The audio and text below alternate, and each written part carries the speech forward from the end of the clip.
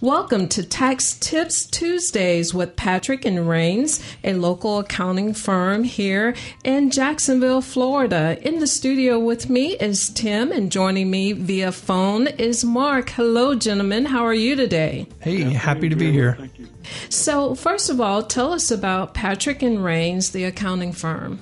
Oh, hey, happy to do so. We are a full service uh, CPA firm. We were established in Jacksonville about 35 years ago. Our main office is on 4029 Atlantic Boulevard. Uh, we perform everything from tax compliance, tax consulting, financial statements, from audits, reviews, compilations, and really just general business consulting as well. We, we try to focus in uh, five areas that's the logistics and transportation, uh, medical practices, construction, restaurants and hospitality, uh, as well as not for profits and manufacturing. Glad to have you here with us. Tax Day is coming up when? April 15th. April 15th. And you are here because you're going to do a program on a weekly basis counting down to April 15th. So we're going to just get started. Anything interesting in the new tax law other than the third stimulus payment? We've had three major ta- tax bills, tax related bills in the last year to focus on the pandemic. And there's been a little bit of a tax law in each one of those. So the probably the second most popular after the stimulus payment in the most recent legislation is to make the first ten thousand two hundred dollars of unemployment compensation tax free. So it's excluded from your tax return, and that would be double that if you have two earners on a married return. Um, at this point, the IRS is not really clear on the rules that they're going to have to deal with that because it just passed about 10 days ago. So they're working on a fix that will possibly allow them to go ahead and amend a return that may have already been filed in which you did not claim claim this exclusion. Uh, the software people that help us prepare returns, as well as you for the online services, uh, are also working to do that until there's a formal explanation they don't know what to do either. So we're actually recommending clients that have this situation to delay filing until they get it worked out because that may be the faster way to get your additional benefit rather than waiting for the IRS to fix it for you. And were there any other laws that we might have missed? Yeah, um, a lot of people talk about the CARES Act because it was what provided the PPP loans uh, for a lot of businesses, especially restaurants. Um, however, there's another little tip inside the CARES Act. It was that the IRS is going to provide a charitable deduction for folks that don't itemize. So even if you do take the standard deduction, you can claim another little portion for your deduction for 2020, only for cash contributions though. To qualified charitable contributions, you can make uh, up to a $300 cash contribution to qualifying charities and this amount will not qualify for like donated property like your goodwill or your salvation army. And uh, up to $300 if you're married uh, but you're going to file separate then they split that in half. So it's only going to be $150 really it's a great benefit because you still get to take the $300 deduction and you still get to take the standard deduction from what you just said, I would be in that category. I don't itemize deductions, but I make a lot of charitable contributions to my church. Mm-hmm. So I would fall into this category. Yeah, because what the IRS is going to do is it's going to at least give you the $300. You know, it may not be the total amount that you've given to charity, but it's you know, it, at least something is better than nothing. And it's a great $300 deduction that you would not have gotten otherwise. Absolutely. And I don't give to a charity just to get back. Mm-hmm. So, but that is great. So, thank mm-hmm. you for sharing that. That's wonderful. We're on to the next question. What if I didn't get one of the stimulus payments? Do I miss out? And how do I get it now? Uh, no, these are all actually considered advance credits toward the 2020 tax return. So if you did not get the proper amount of any one of the three that have, have happened, of course the third one is just now in process, you'll be able to reconcile that on your 1040 for 2020. Uh, there is a recovery rebate credit that will go on line 30 of your tax return to be able to reconcile what you did get and what you should have gotten. And that's quite often the case because some of the rebates were based on the 2018 income, some on the 2019 income, and some will be based on the 2020. So if one or the other is better, you may in fact be able to get additional credit when you file your 2020 return. I'm nervous about cybersecurity and don't use direct deposit, but I know it delayed my stimulus payment. Uh, should I do it? Yeah, um, honestly, the direct deposit it, it, really is the safest it's the most accurate and it is the fastest way uh, as well as electronically filing but just to choose the option direct deposit direct deposit means the refund is going to go directly into your bank account um, and, and it's a free. There's not a charge for that. You're going to get the money much much quicker.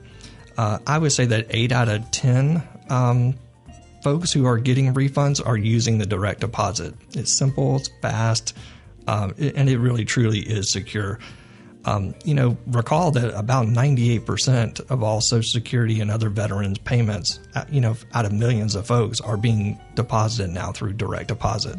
Um, so it really is a safe way to go. If you're just joining us, this is a new segment called Tax Tips Tuesdays in preparation for Tax Day, April 15th. And in the studio with us are Mark and Tim. They're with Patrick and Raines, a local accounting firm here in Jacksonville, Florida. And so they are tackling some questions that we think you have and you want to tune in every week at 4 p.m. on Tuesdays uh, for tax tips. Our next question is why is electronically filing my return so important? We've learned much this year because of the pandemic that the ways of doing business have changed, and the IRS had to do so as well. Many of their people, even now, are not back to work. And if you depend on the mail, you're depending on an individual to open it up and process it, scan it, enter it into a computer, whatever it may be they are approximately 6 million pieces of mail behind in getting them open. So that's a huge inbox that's not yet processed. We're seeing notices for returns that should have been processed six months ago that have not yet been handled. Uh, so it becomes a, a real issue in terms of timing because the IRS computer thinks you're not in compliance when in fact you are. Uh, so we recommend the e-filing so you get an immediate security receipt showing that it's been done. And it also has some error checking to be sure that things have been done before it's accepted. So that's one level of error correction that you might find on the e-file, which you wouldn't get on a paper. Many people received an interest statement from the IRS. What is this and is this taxable? That's a great question. A lot of people are going to get these notices and maybe after they uh, after their heart slows down a little bit because they've just gotten mail from Uncle Sam and and uh, not the best agency to hear from.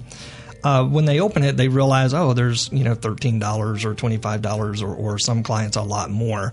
Um, it is actually interest that Uncle Sam is paying you on your refund. So last year, the filing deadline was changed from April 15th all the way to July 15th. So that's an extra three months. And folks who would have gotten a refund that maybe couldn't get to filing their return, um, maybe they've got two or three more months that Uncle Sam is going to pay them interest on their refund. And believe it or not, yes, that is going to be taxable to you.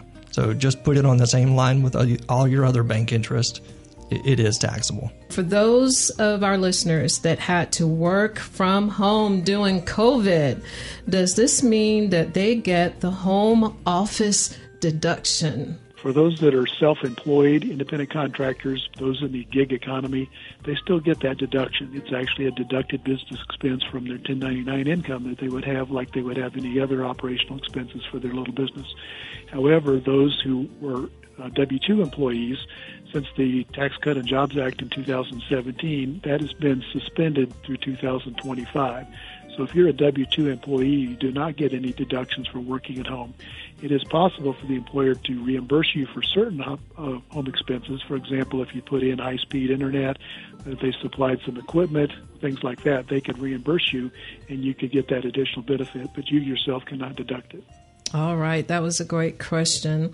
If someone lost their job during COVID 19 um, and now work for themselves, what should they watch out for? Yeah, um, unfortunately, a lot of folks had to, to lose their W 2 job and, and join uh, what everybody's referring to as the gig economy. Um, you you still report your income very much the same way. For example, you'd be uh, if you're an unincorporated business uh, and you've created a schedule, what they call a Schedule C, totally unincorporated. Um, you'd put your income on the top, and then you'd have your deductions below it. You know, your office or your telephone, and, and uh, maybe if you're uh, a painter, then you'll have you know supplies that go along and, and get deducted. That is what we call your self-employed income, and from your self employed income, you do want to file quarterly estimated tax payments. So try to determine what that income is on a quarterly basis and pay that in um, as well. So it's, it's, it, the IRS kind of doesn't want to give you a free loan, so they want you to pay in your money quarterly. Yeah. So. All right, then. And any final recommendations before next week's tax tips? We always recommend that you have a good relationship with your tax professional. And just like any other do it yourself job, we've all done things that we've regretted, not knowing any better, taking the wrong path, using the wrong tool. And it's no different in doing your tax preparation. You need to have someone that knows what they're doing to assist you and advise you and be aware of the upcoming things that you may not have heard of otherwise and know how to take care of. Tax planning is a proactive, not a reactive tool. I would also add, you know, don't underestimate the power of really good record keeping. Um, you know, it, it's a good idea to have a separate bank account for your business, even if it's a gig economy and all you're doing is is something online or or you're selling crafts at a craft fair. It's a good idea just to have a separate bank account for that. Um, that way, pay legitimate business expenses out of that business account and leave your personal account for those personal items. Don't try to commingle them. You'd be amazed at, you know, when sloppy bookkeeping often, often you miss out on the deductions. So um, just watch out for that one. We recommend that you don't wait to the last minute to ask for help. We're all very, very busy and we tend to procrastinate things we don't want to deal with, and paperwork is one of them that most of us are not good at. So try to get your help early to find out what you need to know, what you need to keep, and then you don't have to scramble looking for information. You may have missed a deadline that you otherwise could have done if you'd known better. Uh, maybe you want to plan multi-year in terms of when's the best time to take a deduction for charity or declare income from the sale of a property. Uh, so get this help on the front end, and you'll find out that you'll save not only tax but penalties and interest by doing that. Uh, the COVID uh, experience has told us that we can't always plan everything in advance. We need to be reactive to what's going on, and a professional can help you with that. You know, and just to echo that, you know, Mark mentioned before, really getting a relationship with a financial and tax advisor. There's a lot of free software out there, um, and maybe that worked in the past. Maybe your income was such that, and it was simple enough for a W two. You just went out and got uh, TurboTax or TaxSlayer or, or any of the other online services. But wow, things really have gotten complicated with with the Tax Jobs and Cuts Act. Um, excuse me, Tax Cut Jobs Act, uh, the CARES Act, the Consolidated Appropriations Acts, uh, and the new American Recovery Plan um, that that's a lot of information to absorb in a short amount of time. So, what we find is is building that relationship with a trusted tax advisor is well worth the fee. You know, even if you have somebody, uh, a neighbor or something, just just take him out to lunch and, and you know you know you're going to pick his brain a little bit and he's getting a free lunch out of it. But you know you're you're going to need some help this this time of year. We saw that a lot with folks. Oh, I didn't get my stimulus. Why? Well, you know, had you been working with a proactive CPA, you know, they would have been on top of that. Um, there's there's other situations where, you know, your your income may have may have messed you up or caused you to get something delayed. So now you're waiting a whole year, you know, to get your stimulus. That you could have been a little more proactive and, and got that, uh, you know, just being a little smarter about things. So, um, especially if you're going out for business loans um, you know, it's always nice to go ahead and have a CPA in your back pocket. I want to thank Mark and Timothy for being with us on today for Tax Tips Tuesdays with Patrick and Rain CPAs. And if you have a question for them, give us a call here at the radio station 904 301 9565 and we'll make sure that they receive your question and answer it on air next week. Sounds great? Awesome. I appreciate the opportunity. Thank you so much for having us. And thank you for being with us. And thank you for joining us for Tax Tips Tuesdays right here on your Pure 103.7 FM, AM 1320, Jacksonville's Christian station.